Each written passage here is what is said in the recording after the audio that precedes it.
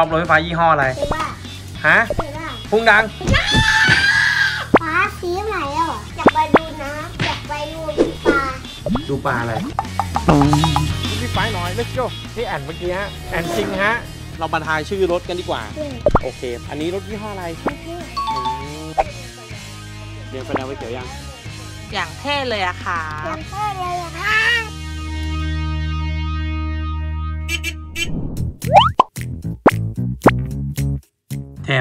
พรุ่งนี้รถเทสลาพรุ่งนี้ป้าจะเอามา อยากไปเที่ยวกับป้าไหมมาเลยอะใช่พรุ่งนี้เราเอารถอะไรไปฟ้าสีไหนแล้วอะใช่ไฟแดงน้องเทมชอบรถไฟฟ้าไหมอืมชอบรถไฟฟ้ายี่ห้ออะไรเห็นว่าฮะเห็นว่าพุ่งดังเห็นว่าแล้วพรุ่งนี้น้องเทมอยากให้ป้าพาไปไหน ถ้าป้าเอารถเทสลามาให้น้องเทมนั่งอยากไปดูน้ำอยากไปอยากไปดูปลา ดูปลาอะไร วันนี้ก็ไปมาแล้ว อยากดูปลาอะไรอยากซ้ำๆดูอีก ปลาเอียดเอาเทสลาไปอะปลามันจะรู้ไหม เพราะว่ารถมันไม่มีเครื่องยนต์ปลามันเงียบ รถมันเงียบเนาะหรอ รถเทสลานี่มันเป็นรถอะไร รถไฟฟ้าใช่ไหมอืมน้องเทมชอบไหมน้องเทมกลัวไฟดูดไหมฟ้าตรงนี้ก็มีเทสลาTikTok อืมไหนลองกดเข้าไปดูสิ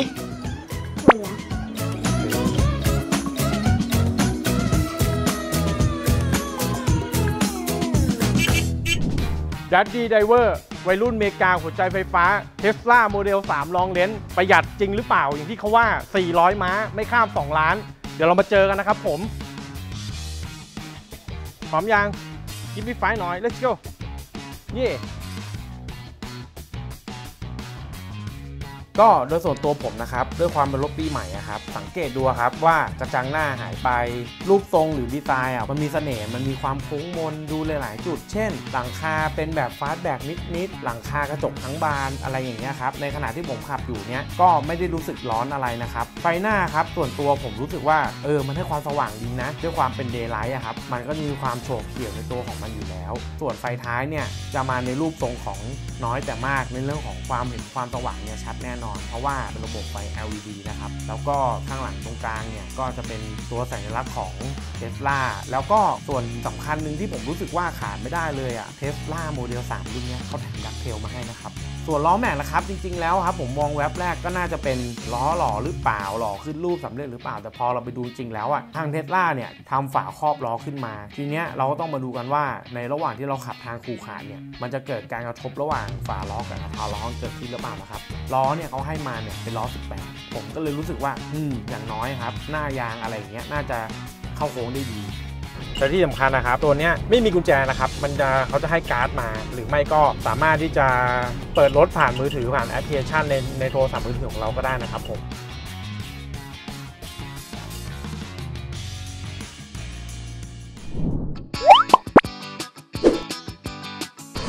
น้องเทมเรามาทายชื่อรถกันดีกว่า ถ้าน้องเทมตอบถูกนะป้ามีรางวัลให้ คืออะไรน้องเทมอยากได้อะไรต้องบอกป้าก่อน อยากได้น้องบีม ให้น้องบีมหาน้องเทมที่บ้านไหมเหรอ โอเค มาอันนี้ด้วยโอเคตอบคำถามกัน อันนี้รถยี่ห้ออะไรโอเคอืมอันนี้รถอะไร โอเค อันนี้รถอะไรนี่อ่า อันนี้รถอะไร มาสด้า อ๋อ อันนี้รถอะไร เฮ้ย อันนี้รถอะไร อันนี้รถอะไร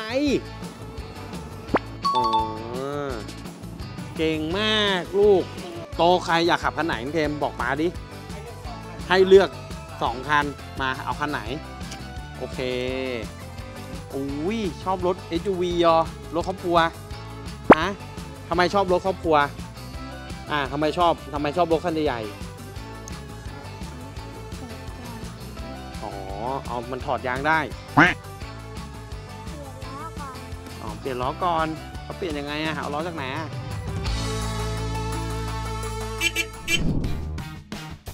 นี่ก็เป็นครั้งแรกนะครับที่ผมได้นำรถเทสลาโมเดล3เนี่ยมาขับนะครับ ซึ่งตัวเนี้ยด้วยช่วงล่างมันเป็นขับเคลื่อน 4 ล้อมอเตอร์คู่นะครับ มันก็จะเป็นแรงขับเคลื่อนแบบว่าช่วยส่งกำลังอะครับ0ถึง100เนี่ย แค่ 4.4 วินาทีเองนะ อัตราเร่งเนี่ยผมชอบมันนะ ผมว่า feeling ดีเลยครับ อัตราเร่งก็ smooth มาก นี่เราจาก 80 ไป 90 เพราะว่าผมมากับลูกชาย ก็ไม่สามารถขับเร็วได้ อันนี้ต้องขออภัยผู้ที่ชอบความเร็วด้วยนะครับผม ดีไซน์รอบคัน โห ผมว่าอันดับแรกเลยประหยัดวัสดุไปได้เยอะเลยนะครับ มีความเป็นมินิมอลครับ แล้วก็มันมีมูลลูปที่มันกว้างขึ้น มันสามารถที่จะทำให้ตัวรถอะมันไม่อึดอัดในการควบคุมคอนโทรลต่างๆครับ หน้าพวงมาลัยอะไรเงี้ยครับ ก็จะมีน้อยมาก มีแค่ ไม่กี่อยู่ไม่กี่จุดเนี่ยหนึ่งสองสามสี่ครับ แล้วก็เราจะสั่งการผ่านตัวหน้าจอตรงกลางเนี่ยเป็นหลักดูนะครับ สนุกไหมผมว่ามันสนุกนะเนี่ยมันสามารถที่จะปรับได้หลายระดับลมที่ออกมา เราสามารถที่จะปรับได้ว่าทิศทางลม เราจะให้ไปโจทย์ตอบโจทย์อยู่ตรงไหน โอ้สนุก จริงๆแล้วครับ ด้วยความที่มันเป็นรถนวัตกรรมอะเนาะความง่ายมันก็ต้องมีความแบบทันสมัยอยู่ภายในอยู่แล้ว เช่น ผมชอบมากเลยไวเลสชาร์จเนี่ยมันสามารถชาร์จได้ทั้งสองฝั่งเลยนะครับ แล้วก็ปุ่มการใช้งานเนี่ยผมก็เชื่อว่ามันครบทั้งการเสียบช่องนู้นช่องนี้อะไรเงี้ยครับมันสามารถอำนวยความสะดวกเราไปได้เยอะเลยครับผมสำหรับผมค่อนข้างประทับใจครับ จับไปตรงไหนก็รู้สึกดีไปหมด รูปพวงมาลัยก็ลื่น จับหนังอะไรก็รู้สึกว่ามันไม่มีขุยๆเลย เราดูภายในนะครับ เรารู้สึกว่าเหมือนเราอยู่ในบ้านมูจิมิติหลังเล็ก ๆ ลองดูข้างหน้าสิครับ ผมเลยรู้สึกว่าอืมมันให้อารมณ์แบบคลาสสิกอยู่เหมือนกันนะ ถ้าถามผมในระดับราคาไม่ข้าม 2 ล้านนะผมเชื่อว่าเทสลาทำออกมาได้ดีครับ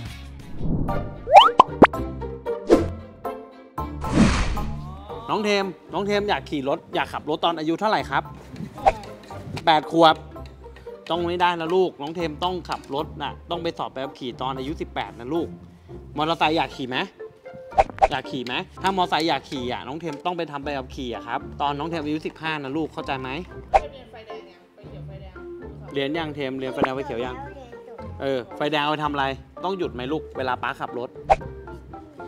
เฮ้ยต้องหยุดสิครับ เวลาเจอไฟแดงเราต้องหยุดนะลูกทำไงครูแอมแม่โทรหาครูแอมก่อนตอบ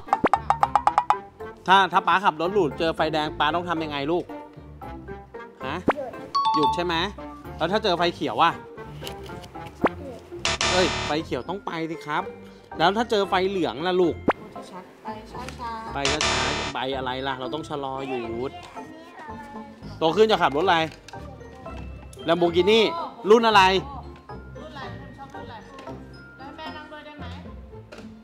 ทำไมอะ จะไปรับสาวเหรอ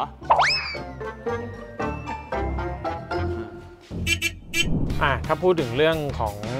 การปรับโหมดนะครับในตัวของ Tesla Model 3 ครับ ตัวนี้ก็จะมีการอัตราเร่งความเร็ว โหมดการขับขี่ โหมดการหยุดรถ โหมดการเร่งความเร็วเนี่ยก็จะมีแบบชิลนะครับ แล้วก็มีแบบมาตรฐาน ส่วนในการของโหมดการขับขี่เนี่ยก็จะมีแบบสบาย มาตรฐาน แล้วก็สปอร์ต อะผมลองกดแบบสปอร์ตดู เนี่ยต่างไหมครับ จาก 80 ไป 90 เองอะไม่ได้เวอร์นะครับ เมื่อกี้ที่แอนเมื่อกี้ฮะ แอนจริงฮะ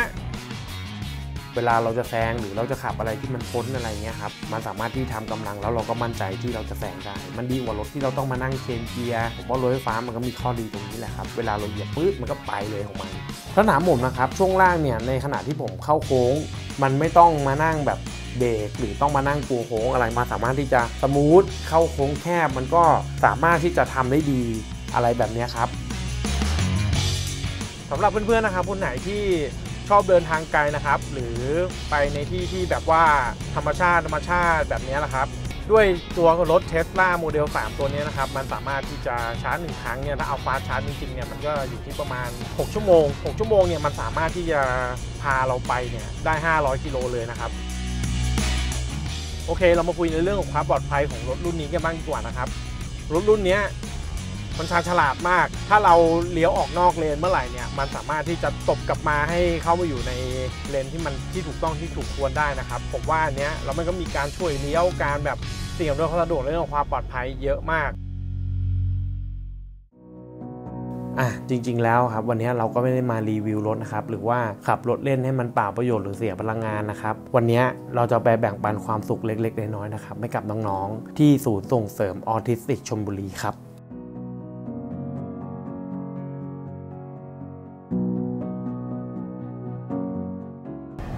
ก็ธรรมดาครับเหนื่อยมาทั้งวันครับ ออโต้พลอตทำงานแล้วครับ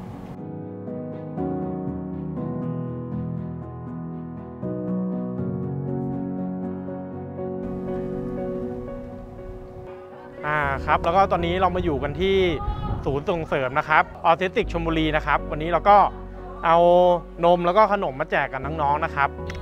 ผมขอทีมงานช่วยยกหน่อยนะครับ ผมรบกวนนิดนึง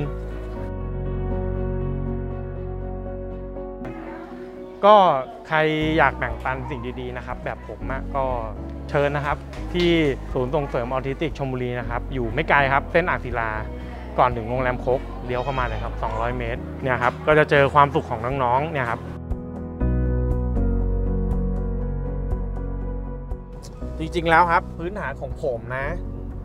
ผมผมเล่นรถคลาสสิกผมชอบความง่ายดีไซน์อะไรเงี้ยของมันนะครับ ซึ่งจริง ๆแล้วอะ ผมใช้เวลาครอบครัวกับการเดินทางอะบ่อยมาก ๆ สุดท้ายแล้วครับ รถคลาสสิกหรือรถอะไรก็แล้วแต่อัตราสิ้นเปลือง มันก็ด้วยราคาที่น้ำมันแพงอะครับ มันก็เลยนวัตกรรมอย่างรถไฟฟ้าถ้าเอาตามตรงผมไม่ค่อยเปิดใจนะ เพราะผมรู้สึกว่าผมชอบเสียงเครื่องยนต์ ผมชอบกลิ่นน้ำมัน แต่พอเรามาขับรถอันเนี้ย เรารู้สึกว่าอย่างที่ผมพูดไปอะครับ เสียงเครื่องยนต์กลิ่นน้ำมัน ผมว่ามันเกิดจากมลพิษพอเกิดจากมลพิษยิ่งเรามีลูกแล้วอะ ผมว่าอันเนี้ยมันคือเซฟโซนของลูกผมมากกว่า แล้วก็มันสามารถพาลูกผมไปได้ในทุก ๆ ที่อะครับเหมือนกัน ซึ่งพอผมได้มาลองผมก็รู้สึกว่าเออรถไฟฟ้ามันก็เราไม่สามารถปฏิเสธได้ว่าอันไหนดีกว่ากัน แต่ผมรู้สึกว่าอันเนี้ยมันคือนวัตกรรมที่เราต้องเปิดใจลองมันนะครับ ซึ่งผมชอบบอกนำตรงเลยจากใจเลย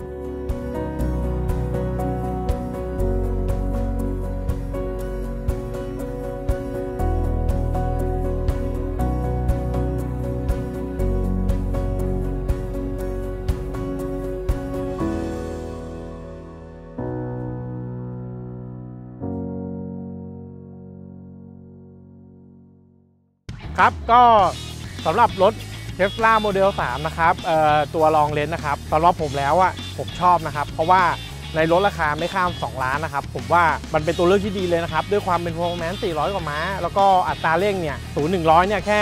4 วินาทีนะครับ ผมว่ามันเป็นตัวเลือกที่ตอบโจทย์สำหรับคนในเมืองสำหรับคนที่เดินทางไกลนะครับ ก็อาจจะต้องวางแผนจัดการสักนิดนึงในเรื่องของการหาจุดชาร์จนะครับ แล้วก็ส่วนข้อเสียของมันตอนเนี้ยผมก็รู้สึกว่ามัน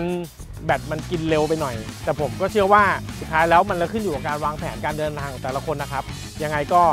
ถ้าใครชอบหรือไม่ชอบยังไงก็ลองหาข้อมูลเพิ่มเติมได้นะครับ ชอบไหมคันนี้ฮะชอบไหมฮะอยากได้ไหมฮะอยากได้ไหมครับโอ้อยากได้อะไร เฮ้ยเทสลาเว้ย อย่างเท่เลยอะค่ะ อย่างเท่เลยอะค่ะ